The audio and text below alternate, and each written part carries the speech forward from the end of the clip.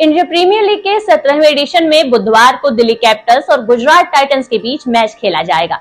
दिल्ली के Arun Jaitley cricket stadium में खेले गए इस मैच में दिल्ली कैपिटल्स ने गुजरात टाइटंस को रोमांचक मुकाबले में चार रन से मात दे दी।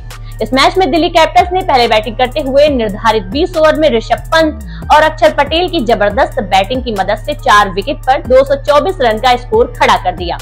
जिसके बाद गुजरात टाइटंस ने पूरा ज़ोर लगाया, जहाँ 20 ओवर में 220 रन बनाए और चार रन से मैच को गवा दिया।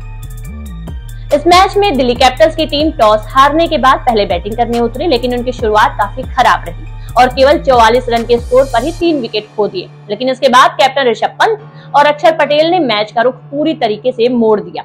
दोनों लेफ़्ट हैंडर्स ने ज़बरदस्त बैटिंग करते हुए चौथे विकेट के लिए 113 रनों की तूफानी साझेदारी कर टीम के स्कोर को 200 के पार पहुँचाने में खास रोल अदा किया।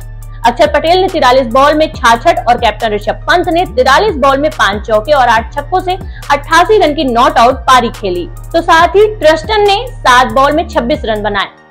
गुजरात टाइटंस की टीम 225 रन के टारगेट को अचीव करने उतरी, लेकिन उनकी स्टार्ट काफ़ी खराब रही, जहाँ कैप्टन शुभमन गिल छह रन ही बना सके। इसके बाद रिद्धिमान साहा और साई सुदर्शन ने शानदार पार्टनरशिप कर गुजरात टाइटंस को मैच में बनाए रखा, लेकिन साहा ने 39 के स्कोर पर आउट होने के बाद साई सुदर्शन भी 39 बॉल में 65 रन बनाकर आउट हो गए।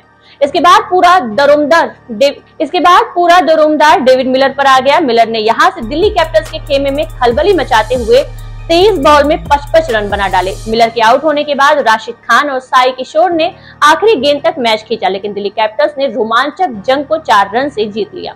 इस सांस रोक देने वाले मैच को लेकर आप क्या कुछ कहना चाहेंगे? कमेंट बॉक्स में अपना रिएक्शन ज़रूर शेयर करें। और क्रिकेट जगत की तमाम छोटी और बड़ी खबरों से अपडेट रहने के लिए बने रहिए हमारे चैनल के साथ।